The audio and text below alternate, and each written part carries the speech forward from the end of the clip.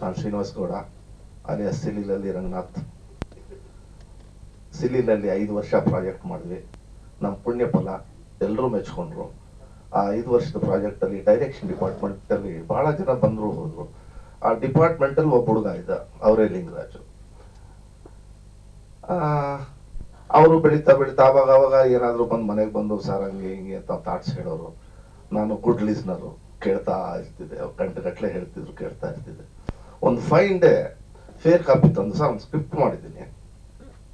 ಓದಿ ಹೇಳಿ ಅಭಿಪ್ರಾಯ ಅದು. ಹುಡುಗರು ತುಂಬಾ ಆಸೆ ಇರುತ್ತೆ, ಉತ್ಸಾಹ ಜಾಸ್ತಿ, ಅನುಭವ ಕಮ್ಮಿ, ಇರಲಿ ಅಂದ್ಬಿಟ್ಟು.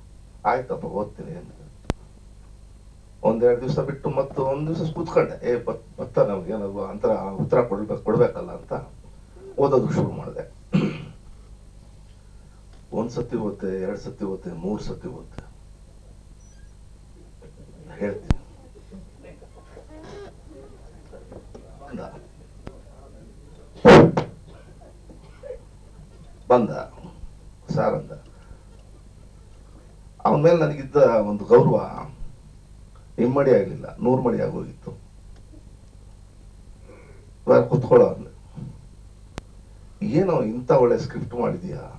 ಎಲ್ಲಿಟ್ಟಿದ್ಯೋ ಇದನ್ನೆಲ್ಲ? ನಗ್ದ. ಸರ್ ಡೈಲಾಗ್ ಕೂಡ ಮುತ್ತು ಮುತ್ತಿದ್ದಾಗಿದೆ ಸರ್. ಸ್ಕ್ರಿಪ್ಟ್ ಬಿಡಿ ಆನ್ಲೈನ್ ಬಿಡಿ ಕಾನ್ಸೆಪ್ಟ್ ಬಿಡಿ. ಬರೀ ಡೈಲಾಗ್ ಅಲ್ಲೇ ಸಿನಿಮಾ ಗೆಲ್ಲತ್ತೆ ಸರ್. ನಾನು ಅವ್ನಿಗೆ ಹೇಳಿದೆ. ಯಾವ ಹುತ್ತದಲ್ಲಿ ಯಾವ ಹಾವಿರುತ್ತೋ ಯಾವ ತಂದೆ ತಾಯಿ ಎಂಥ ಮಕ್ಕಳು ಇರ್ತಾರೋ ಗೊತ್ತಿಲ್ಲ. ಒಳ್ಳೆ ಸ್ಕ್ರಿಪ್ಟ್ ಅಂತೂ ಮಾಡಿದ್ದೆ. ಅದ್ಭುತವಾಗಿದೆ. ಸ್ಕ್ರೀನ್ ಪ್ಲೇ ಚೆನ್ನಾಗಿದೆ. ಡೈಲಾಗ್ಸ್ ಚೆನ್ನಾಗಿದೆ. ಕ್ಯಾರೆಕ್ಟರ್ಗಳು ತುಂಬಾ ಚೆನ್ನಾಗಿ ಕ್ರಿಯೇಟ್ ಮಾಡಿದ್ಯಾ? ಅದ್ರ ಒಂದು ಡೌಟ್ ನನಗೆ ಏನು ಸರ್ ಇದೆ ಇದೇ ತರ ನೀನ್ ಮೇಕಿಂಗ್ ಮಾಡ್ತೀಯಾ? ಇದಕ್ಕೆ ಬೇಕಾಗಿರೋ ಒಳ್ಳೆ ಒಳ್ಳೆ ಆರ್ಟಿಸ್ಟ್ ನೀನ್ ಆಯಿಸ್ತೀಯಾ ಆರಿಸ್ತೀಯಾ ಮೇಕಿಂಗ್ ಇದೇ ಲೆವೆಲ್ ಮಾಡ್ತೀಯ ಅನ್ನೋದು ಒಂದು ಕ್ವಶನ್ ಇದೆ. ಅದ್ರ ನೀನ್ ಗೆದ್ಬಿಟ್ರೆ ಅದರಲ್ಲಿ ಸಿನಿಮಾ ಹಿಟ್ ಆಗುತ್ತೆ. ಅದು ಯಾವ ಲೆವೆಲ್ಗೆ ಹೋಗುತ್ತೆ ಅಂತ ಹೇಳಕ್ಕಾಗಲ್ಲ. ಜಸ್ಟ್ ಮಿನಿಮಮ್ ಪಾಸ್ ಅಂತೂ ಗ್ಯಾರಂಟಿ ಆಗ್ತೀಯ. ಏನೋ ಒಂದು ಪುಣ್ಯದ ಫಲ ಅವ್ರ ಅಪ್ಪ ಮಾಡಿ ಅಪ್ಪ, ಅಮ್ಮ ಮಾಡಿದ ಪುಣ್ಯನೋ ಏನೋ. ಆಕ್ಟ್ ಆಗಿರೋರು ಎಲ್ಲ ಸಿಕ್ಬಿಟ್ರು ಸರ್ ನಮಗೆ. ಕ್ಯಾಮ್ರಾಮನ್ ಇಂದ ಹಿಡಿದು ಆರ್ಟಿಸ್ಟ್ ಇಂದ ಹಿಡಿದು ಲೇಡಿ ಆರ್ಟಿಸ್ಟ್ ಇಂದ ಹಿಡಿದು ಲೊಕೇಶನ್ ಇಂದ ಹಿಡಿದು, ಮನೆಯಿಂದ ಹಿಡಿದು, ಎಲ್ಲವೂ ದೇವರು ಅವನಿಗೆ ಒದಗಿಸ್ಕೊಟ್ಬಿಟ್ರು. ಸಿನಿಮಾ ತುಂಬಾ ಚೆನ್ನಾಗಿ ಬರ್ತಿದೆ. ನಾವು ಸರಿಯಾದ ದಾರಿಯಲ್ಲಿ ಹೋಗ್ತಾ ಇದ್ದೀವಿ. ಅವನು ಹೇಳ್ದೆ ನಾನು, ಈ ಸ್ಕ್ರಿಪ್ಟ್ ಓದಿ ನಾನು ಹತ್ತು ಸಾರಿ ಹತ್ತಿದ್ದೀನಿ ನೀನು ಜನಗಳನ್ನ ಒಂದ್ ಸಾರಿ, ಎರಡು ತೊಟ್ಟು ಕಣ್ಣೀರು ಹಾಕ್ಸ್ಬಿಟ್ರೆ ನೀನೆಲ್ಲ ಹೋಗ್ತೀಯ ಅಂತ. ಮಾಧ್ಯಮ ಮಿತ್ರರು ನಾನು ಹೇಳ್ತೀನಿ ಗೊತ್ತು ನನಗೆ ಗೊತ್ತು ಚೆನ್ನಾಗಿ. ನಿಮಗೆ ಇದೊಂದು ರೂಟೀನ್ ವರ್ಕ್ ಯಾರೋ ಬರ್ತಾರೆ, ಯಾರೋ ಹೋಗ್ತಾರೆ, ಏನೋ ಬರೀತೀರಿ, ಏನೋ ಇಟ್ಕೋತೀರಿ ಫೋಟೋ ಇಟ್ಕೋತೀರಿ ಅದು ನಿಮ್ಮ ಕೆಲಸ, ನೀವು ಮಾಡ್ತೀರಿ ಪಾಪ. ಬಟ್ ಈ ಈ ಸಿನಿಮಾಗೆ ನಾನು ಗ್ಯಾರಂಟಿ ಕೊಡ್ತೀನಿ ಸರ್. ಮಿನಿಮಮ್ ಸಿನಿಮಾ ಪಾಸ್ ಆಗೇ ಆಗುತ್ತೆ ಫೇಲ್ ಅಂತೂ ಆಗಲ್ಲ. ಅದೇನೇ ಆಗೋಗ್ಬಿಡ್ಲಿ ಅದು ಇಷ್ಟೇ ರಾಜಕೀಯ ನಡೀಲಿ. ಅದು ಎ ಸೆಂಟ್ರು ಕಷ್ಟ, ಅದೆಲ್ಲ ಕರೆಕ್ಟ್ ನಮ್ಗೆ ಗೊತ್ತು.